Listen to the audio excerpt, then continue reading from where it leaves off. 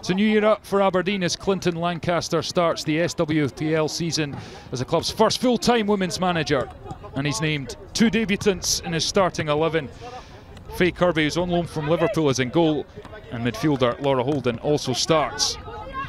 Jill Ingles leads Motherwell out as captain, and Bailey Collins starts against her former club. Kayla McDonald and Ngwa will be relied on for goals again this season.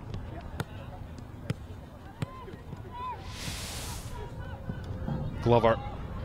That's a lovely ball in behind for Hutchison. She's clean through here, Hutchison. And finishes beautifully. Cool, calm and collected. And just tucks it into the far corner. And the usual suspect, Hutchison, is up and running. Paul Brownlie, the Motherwell boss, looking to build on last season where they were oh so close to the top half of the table. Hutchison, good strength, driving forwards. It's a cross for Broderick, who's going to take the shot on, saved by Mutch.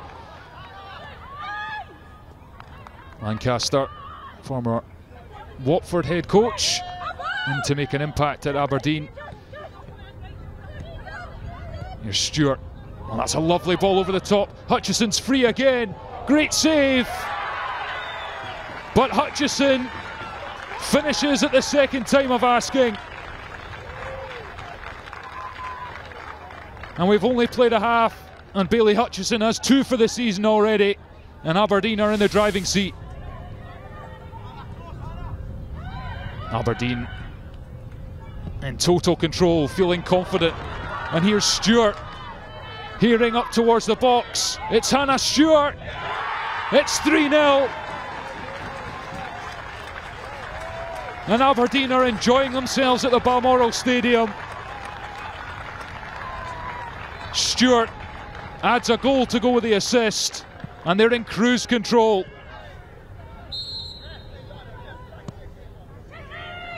Ball comes in, and Joanne Addy goes down, and it's a penalty to Motherwell. Addy clumsily tripped by Broderick. And Motherwell can give themselves a lifeline. It's McDonald Ngwa drills it home. And Motherwell have just over 20 minutes to find another two goals.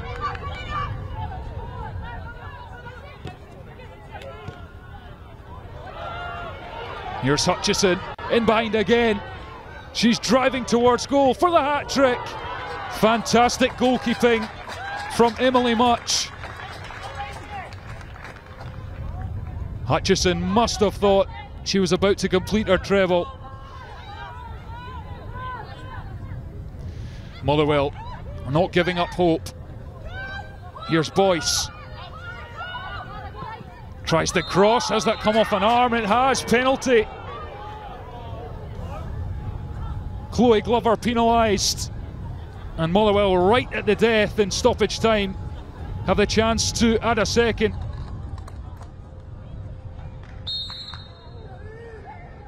It's McDonald Ngwa converts with aplomb once more.